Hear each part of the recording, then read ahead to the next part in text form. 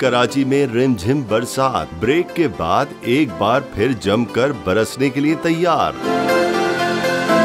शहर बरसाती पानी में एक बार फिर डूब सकता है। महकमा मौसमियात ने खबरदार कर दिया। इस बार भी नाले उबलेंगे, सड़कें, नदी और तालाब के मनाजिर पेश करेंगी।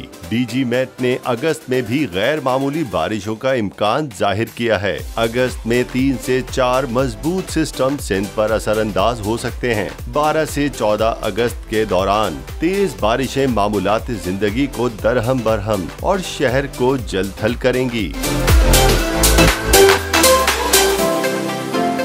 रवामा, मानसून के तीसरे और धुआंधार स्पेल के बायस, शहर के बेशतर इलाके कई रोज तक बरसाती पानी में डूबे रहे। कहीं गंदगी तो कहीं कीचड़, मुसाफिरों का रास्ता रोकते रहे। शहरी कुछ मिनटों की मौसलाधार बारिश के बाद कई कई घंटे बदतरीन ट्रैफ़िक जाम में फंसे रहे। गुजश्ता 24 घंटे के दौरान सबसे ज़्यादा बारिश औरंगी टाउन में पंद्रह अशारिया छह मिलीमीटर रिकॉर्ड की गई।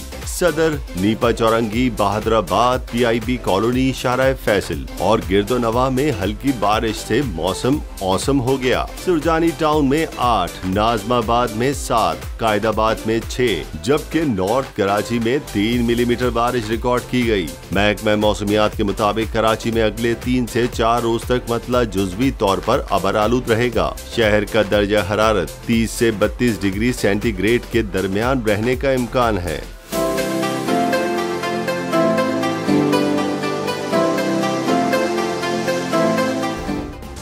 सब्सक्राइब करें और बेल दबाएँ ताकि कोई खबर रह न जाए।